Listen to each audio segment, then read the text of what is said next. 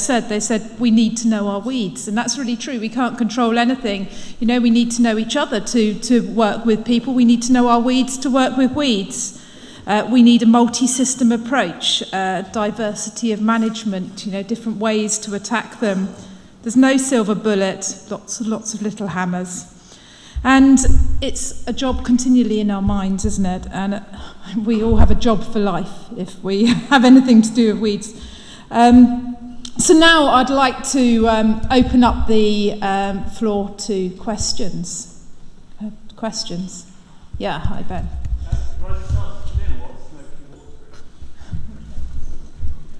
Yeah, sorry, I didn't go into detail on that, I? I was hoping people might know. Um, is that okay? Can you hear me? Yeah. Um, so it's basically, um, it's been produced by burning um, straw or trash to, to produce a, a chemical that then can be put back up, so it can be made into a liquid form that can then be put on the soil. Or, so we've played around with small quantities of this in the glasshouse and looked at what can and can't grow through smoky water. But it's very good at, at stimulating growth. So for blackgrass, it's ideal. It's, so if you think back to stubble burning and what we could do and what would be stimulated to grow after that is, is a kind of chemical reaction within the smoke that then makes the weed seeds germinate. So watch this space. Thank you. Other questions? Yeah. Uh, could just quickly uh, clarify whether there's like there are convenient glyphosate? On glyphosate, perhaps we'll start with Jez. Bad? Lynn? Organic grower. I'm not an organic grower. Um, I think it has a place, but I think it should be used um, respectfully, and I think it has been overused. But I feel it still has a very important role to play in all um, horticulture and arable systems, but it should be used very wisely. Obviously, there's an issue of um, resistance risk as well. So I actually think it is a, another tool that can be used, but should be respected and used wisely. Yeah, I think it's uh, a bit of a get out of jail free card um, in, in the past, in that if you've got an unsustainable system with your selective products, it allows you to redeem the situation, um, which is not which is not necessarily a good thing because it allows you to continue that unsustainable system. So I think it's I think it would be very sensible to plan a system um, that isn't reliant on glyphosate, um, whether or not we get to keep it. Um, because that, that glyphosate, again, it might be allowing you to, to maintain that unsustainable system. Having said that, I agree with Lynn, it can be a very useful tool. And obviously there's a question around conservation agriculture and reduced tillage, about how you maintain those systems without a non-selective herbicide. Um, is it, you know, we're, we're looking at that now, how, how sustainable, how, how possible is it? A, a really difficult and challenging topic, yeah, in the middle. That was easy. Thank you. Um, have you got any advice on horsetail? I'm, I'm sorry, horsetail. Horsetail. Horsetail. No, it's, uh, uh, uh, we, we've struggled with it. If you know Rothamsted, we've got a long-term experiment called Broadbork, um, and we've had real problems with equisetum with horsetail on, on Broadbork. Um, and the solution we came up with was rolling it, trying to crush it to, to allow some of the a, a chemical product in. Um, so that, that's the way we, we, we rolled it, tried to crush it, and then apply a herbicide. Okay, it's something that we'll be looking into a bit more detail with the electrical weeding system, and I think that is something that could work really well. But it would perhaps need to be integrated with something else as well. Maybe rolling would be a good option. But I think though, you know, that's something is worked really well on docks and thistles. Um, so we're hoping that that might be something we could we could um, tackle. Is it a very large area of protection? Yeah, it's like very prevalent over an acre and a half of our field. Right. Um, we've tried digging it out every single year for like five years. We've tried mulching it, um, being really on top of it with hoeing, and it is just incredibly persistent. When you say mulching, do you use plastic mulch? Yeah. Oh, like, right. like laying down Mypex and just planting right. through that. Right. Oh well, uh, yeah, different field. Easy. Thanks for that useful answer. um, another question. Yeah, with this gentleman here. I'd like to take the opportunity of um, thanking Jez uh, because many years ago he came to my farm and called me Prince Could you use the microphone? Sorry, Mr. He Trevor. called me the Prince of Growers. I'd like to return the compliment and call him the King of Growers. But I've, there's one thing that was mentioned earlier, and that was the um, ambiance between uh, couch grass and buckwheat. Now, on my little farm that I've been running for 15 years, I've done a lot of research on that, and it works. Um, it doesn't always work. You've got, to, you've got to sow your buckwheat with an ascending moon, and I'm not, I'm not a biodynamic person at all, but I've had success by sowing it at the right time, which is May or June, with the ascending moon, and I use it to keep the couch in tone. That's what I mean to say is I have a, a hectare field, and in the middle I have three rows of fruit trees, and every year the couch tends to come into my growing areas. So I use buckwheat and it works absolutely perfect. Mm-hmm. Thank you. Lynn, you mentioned yeah, okay. it. Um, I mean, that's really great to hear. I'm really impressed. We, we had some very challenging years with our trials and, and the difficulty with buckwheat, obviously we needed the moisture in the spring um, to get it growing properly to be competitive enough. And there are no varieties that are, fro are, to are frost tolerant. So we were unable to do anything in the autumn and, and see the crop through. So, uh, you know, but it's really encouraging to hear that people are doing that in practice and it is working. I, th I think the couch grass one is one, you know, we can uh, John mentioned black grass and, you know, going back to the glyphosate if, if we um, lose glyphosate, then everyone will be worrying about couch grass much more, and it brings these things to the fore. Yes, further questions?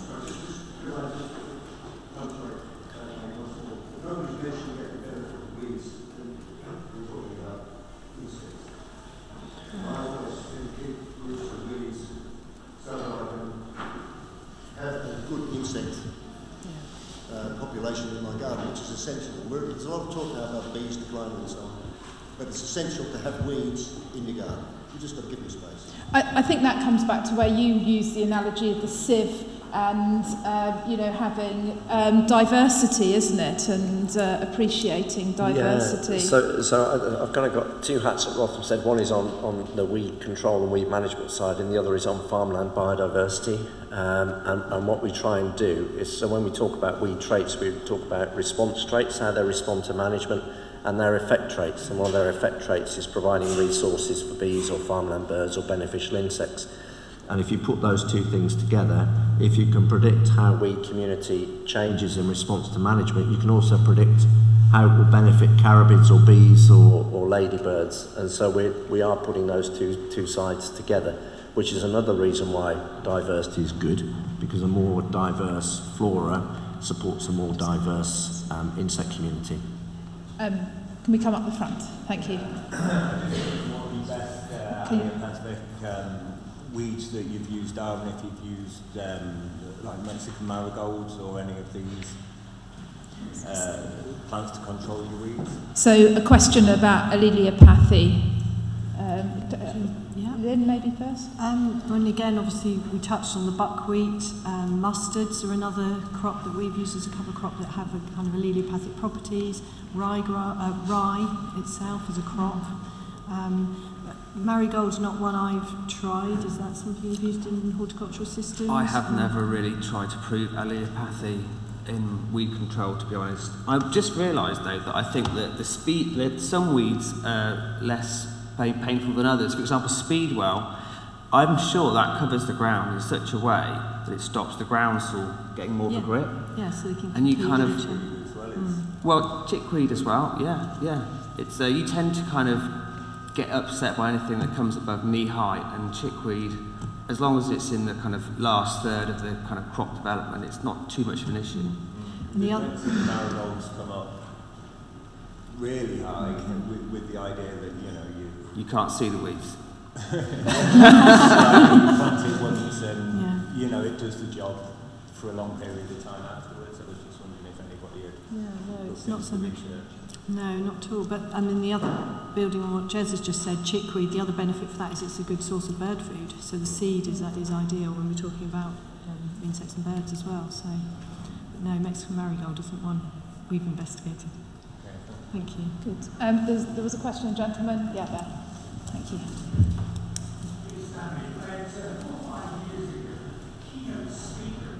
conference, was it? That's right. Carry on, carry on. About four or five years ago, the keynote speaker at the conference here was Elaine Ingham, who was waxing lyrical on getting the critical balance between bacteria and fungi in the soil for a particular plant species right. That then thrives, and the weeds in inverted commas either side then don't thrive. Has there been any experience of people trying that methodology? Um, I'll hand over. I, I think they're all thinking the same as me, which is it's a complex situation, isn't it? And No, I mean, the, the only um, angle I've come at that from is if you have a more diverse cropping rotation, then you have a more uh, diverse microbial community as well. And again, that tends to lead to a more balanced weed community. Um, so I haven't heard of that or had any experience of that as a tactic. No, not I, I'm afraid. Sorry. no. Um, what, we'll take one last question. Hi, Rachel Remnant. Um, it's a question about pasture management. I'm managing a triple SI wetland, returning it to fen grass, and we've got an issue with hard rush in the wetter areas and creeping thistle on the drier areas. and we've been controlling that by cutting and removal twice a year.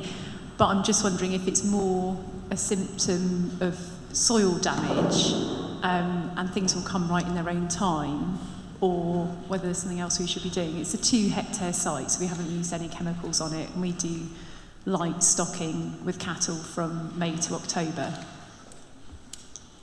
Ah, Lynn, you've done yeah. some work with thistle, haven't you? Okay, yeah, I mean, again, cutting is great, obviously cutting, removing. The more you can do then to make sure you haven't got any bare ground, so making sure your sward is you're reseeding and making sure it's a good dense because obviously the weeds will exploit any gaps, any space that you leave behind. So, and obviously with creeping thistle, as you know, there's a massive network underground, so you're just cutting a small part of what you can see, but there's a huge um, network underground of, of the thistle rhizome, so it is you need to keep, keep cutting, keep on top of that to try and exhaust that as much as possible and prevent any um, seedlings being allowed to emerge through any gaps in the sward. What do you What, what's the best time to cut? Is it when they're just in bud, ready to flower, or as they're flowering, or is, what's the advice on that at the moment? Yeah, I mean the best, obviously, as they're putting their energy up into flowering, um, you, you know, there's a lot of resource still pushing up to the flowering. So once they're flowering, you can cut then because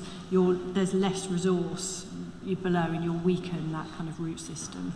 So, but you, you obviously don't want them to seed, so you need to make sure you get rid of their heads. Any, any thoughts on the rushes as well? I mean, again, if you're not controlling them chemically, then cutting and removing is the best. Um, you will weaken them, but again, don't allow any gaps where they can come in because if you can fill in with the grass, it's more difficult, in, they'll be in the wet areas obviously, and that's mm. much more difficult to get other things to germinate quickly.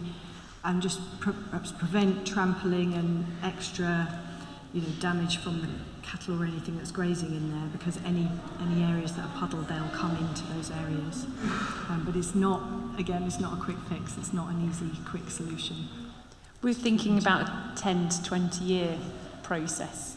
I'm afraid you probably are looking at that kind of length of time for those species Any other comments on? Did you, John? Did you want to say anything on? No, I'd just be curious what you want there instead. Sounds like a great habitat zone, personally. Yeah. yeah. well, it it depends what, what, what are you managing that plant community for? Do You know, what are the services you want out of it?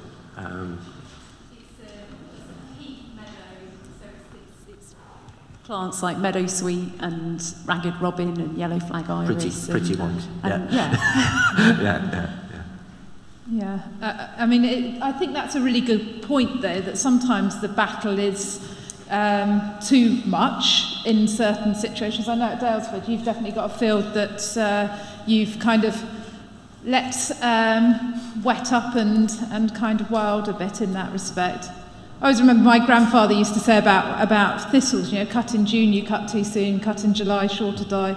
Cut in August, seeds are all over us. And um, it's very true, isn't it? And it's amazing how the old principles um, work through. Um, I think we'll draw this session to um, a close now. And um, I'd like to point out that we have a session in the um, all-date room next door, which is a surgery. So really, very much we can build on some of these particular problem weeds and have more time to discuss it with the people who have experience.